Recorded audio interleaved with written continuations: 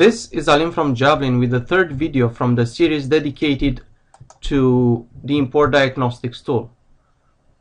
How to use import diagnostics for healing topological errors on imported geometry. And I have a very interesting case in front of me. The model has been posted on SolidWorks forums by David Bernick. Thank you, David.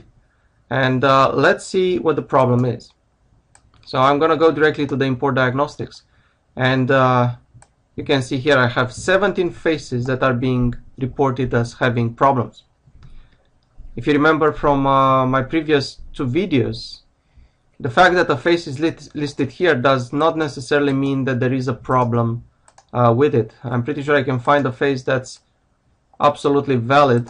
Let's see if we can find it here. Yeah, this one looks like it should be there, but because there are other faces that are interacting with it in a in a way that it goes against the topological rules for having a solid, this face is reported as having a problem. Very similar to what we did uh, in the previous videos, if you try to attempt to heal all this specific part, you're not going to get anywhere, just because there are um, problems that are more complex than what the automated tool can do. So we're going to have to manually uh, fix these faces one by one. And allow me to start with the first face. Face number one, I'm gonna ask SolidWorks to show me where it is. Zoom to selection. And it's buried somewhere in the middle of the part. Really, there should no there should be no face on the other side of uh, of this solid. I mean, somewhere in the middle of the solid. So I'm gonna say this face, face host has to go. As you can see, the caption there says that this face pierces through the solid. There is no solid there, but it actually uh, goes through other faces without having common edges with those faces. So that's not possible in a solid body. So I'm just going to delete it. The moment you delete a face, you're going to get gaps. And we're going to ignore them for now. Let's go to the next face. Where are you? Zoom to selection. You see this big blue face that actually goes through the other faces and what's interesting here, I don't know if you can see, but there is a black edge on, on this vertical face on the rib. That means that's also another little face in the middle. So that black edge is actually not an edge that belongs to the blue face. That means this face also has to go. I'm going to delete it. Moreover, notice here I should have a blue edge. Remember that blue edges are open edges, edges that belong to only one face. So this edge over here should actually belong only to the rib, but apparently belongs to another face that's be behind the rib. So let me dig for that face. I'm to go select other, and as you can see, when I do select other, I'm removing the face that was in front of me, and now I can select the face that's on the opposite side. This face should not be there at all, so we're just to delete it. This is what I want. I want to see here a blue edge. Let's go to the next face that's complaining. Zoom to selection and I have a similar problem on another side of another rib so I'm gonna delete this face also. Have a gap this is what I want. Another face that's uh, crying and it's uh, the same uh, problem on a different rib. I'm gonna delete this one. Another face zoom to selection.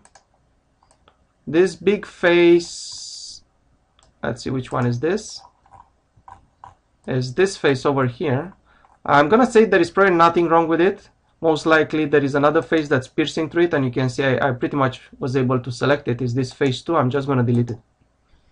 So the moment I, I delete that one, notice that this is no longer listed as a as a problem face, right? I, I solved the problem for this big face. Next, zoom to selection.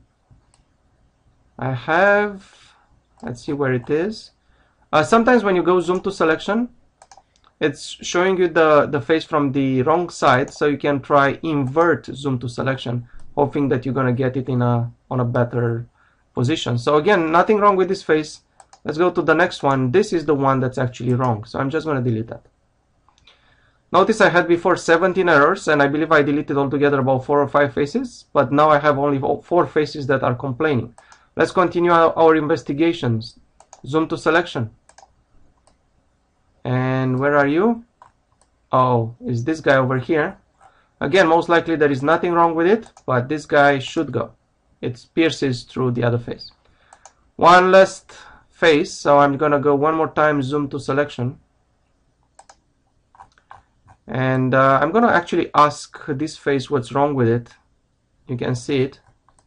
It's it's this one so what's wrong with you Mr. Face? Well I have a general geometry problem in this case I can actually ask SolidWorks to repair it so we're good the only problem we have right now there are no problems with the faces but we have tons of gaps let's do a little bit of manual inspection or visual inspection before we go forward so what I'm looking for is that all these gaps should have blue edges all around so I see blue here, I see blue there, that's good. Let's go to the next one.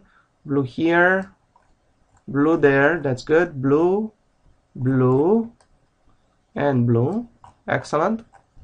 Coming to this point, blue, so it, all of them are open edges.